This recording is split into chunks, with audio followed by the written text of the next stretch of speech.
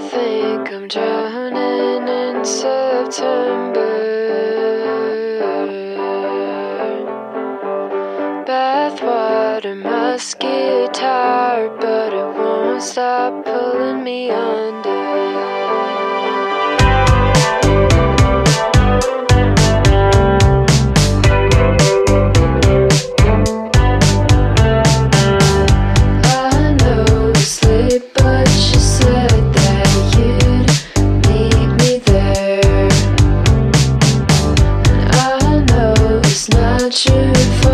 Sometimes life just is